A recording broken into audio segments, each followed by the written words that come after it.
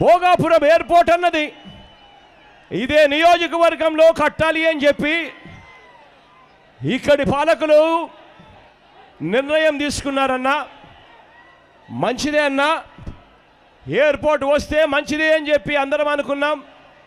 కానీ తీరా చూస్తే పరిస్థితి ఏమిటి అని చెప్పి గమనిస్తే అదే భోగాపురం ఎయిర్పోర్ట్లో చుట్టుపక్కల ఉన్న మంత్రి గారి భూములను ముట్టుకోలేదన్నా. అదే ఎయిర్పోర్ట్కు పక్కనే ఉన్న ఎంపీ గారి భూములను ముట్టుకోలేదన్నా? వాళ్ళందరూ అక్కడ రియల్ ఎస్టేట్ వెంచర్లు చేసే పరిస్థితి లేకపోతా ఉన్నారన్నా? కానీ రైతుల భూములను మాత్రం బలవంతంగా లాక్కొని అక్కడ ఎయిర్పోర్ట్ కట్టే కార్యక్రమం మొదలు పెట్టారన్నా మొదలు పెట్టడానికి ప్రయత్నం చేస్తున్నారన్నా అంటే నిజంగా ఏ స్థాయిలో ఈ పాలన సాగుతూ ఉంది అని చెప్పడానికి నిదర్శనం. వాళ్ళ రియల్ ఎస్టేట్ భూములు రేట్లు పెంచుకోవాలి. వాళ్ళ బినామీలను చేత భూములు కొనుగోలు చేయించాలి. ఆ భూములు మాత్రం ముట్టుకోకూడదు. రైతుల భూములు మాత్రం తీసుకొని లాక్కొని వ్యాపారంలో వాళ్ళు బాగుపడాలి అని చెప్పి జరుగుతూ ఉన్న ఆరాటం ఈ భోగాపురం ఎయిర్పోర్ట్లో కనిపిస్తూ ఉందని. ఇదే భోగాపురం ఎయిర్పోర్ట్లో కట్టడానికని రాష్ట్ర ప్రభుత్వం టెండర్లు పిలిచింది.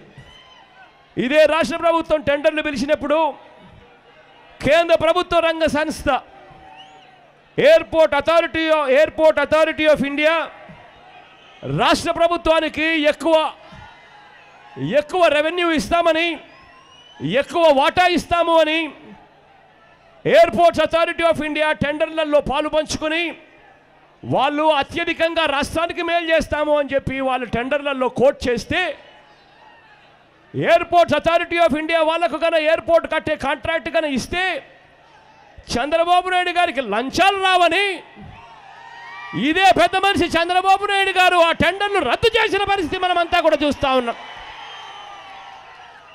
రెండోసారి టెండర్లు పిలిచారు. ఆ రెండోసారి టెండర్లు పిలిచిన దాంట్లో మళ్ళీ ఎయిర్పోర్ట్స్ అథారిటీ ఆఫ్ ఇండియా వాళ్ళు మళ్ళీ ఎక్కడ వస్తారేమో అని చెప్పి ఏకంగా ఎయిర్పోర్ట్స్ అథారిటీ వాళ్ళు రాకుండా ఎలిజిబిలిటీ క్రైటీరియాను సైతం మార్చిన ఘనత ఈ చంద్రబాబు నాయుడు గారి దిక్కుమాలిన ప్రభుత్వంలో చూస్తూ ఉన్నాం ఇవాళ మనం.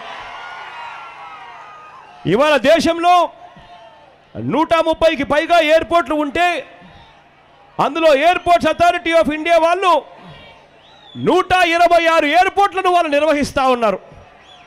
అటువంటి ఎయిర్పోర్ట్స్ అథారిటీ ఆఫ్ ఇండియా కేంద్ర ప్రభుత్వ రంగ సంస్థను ఇదే పెద్ద మనిషి చంద్రబాబు నాయుడు గారు పక్కన పెట్టారు అని అంటే ఏ స్థాయిలో వీళ్ళు అవినీతి చేస్తూ ఉన్నారు అని చెప్పడానికి నిదర్శనం ఇంతకన్నా అవసరమా అని అడుగుతా ఉన్నా.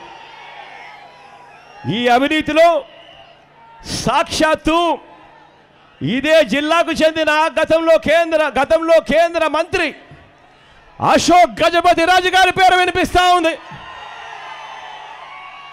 ఇదే పెద్ద మనిషికి సంబంధించిన మంత్రిత్వ శాఖలో చంద్రబాబు నాయుడు గారు బరి తెగించి ఇంతటి స్థాయిలో అవినీతి చేస్తే ఇదే పెద్ద మనిషి చంద్రబాబు నాయుడు గారిని నిలదీయాల్సింది పోయి చంద్రబాబు నాయుడు గారు తానా అంటే తాను కూడా తందానా అని అంటా ఉన్నాడు. ఇవాళ ఇదే మంత్రి. ఇదే మంత్రి. ఇదే మంత్రి అశోక్ గజపతి రాజు. ఎన్టీ రామారావు గారికి చంద్రబాబు నాయుడు గారు వెన్నుపోటు పొడిచేటప్పుడు చంద్రబాబు నాయుడు గారికి బాకులా ఈ మనిషి పనిచేశాడు ఆ రోజుల్లో. ఇదే మనిషి అది అశోక గజపతి రాజు. ఇదే మనిషి నాలుగున్నర సంవత్సరం బీజేపీతో కాపురం చేస్తారు. చంద్రబాబు నాయుడు గారు కాపురం చేస్తారు అశోక్ గజపతి రాజు కేబ్- కేబినెట్ మీటింగ్కి అటెండ్ అవుతాడు. కేంద్ర కేబినెట్ మీటింగులలో కూర్చుంటాడు కానీ ఆ కేంద్ర కేబినెట్ మీటింగ్లో కూర్చున్నప్పుడు రైల్వే జోన్ కావాలని అడగడు. ప్రత్యేక హోదా ఎందుకు ఇవ్వడం లేదు అని చెప్పి నోట్ల నుంచి మాటలు రావు. ఈ జిల్లా మంత్రి ఇంత అన్యాయమైన మంత్రి ఈ జిల్లా నుంచి ఉన్నాడు అని అంటే నిజంగా ఈ జిల్లా ప్రజలు బాధపడతా ఉన్న పరిస్థితి.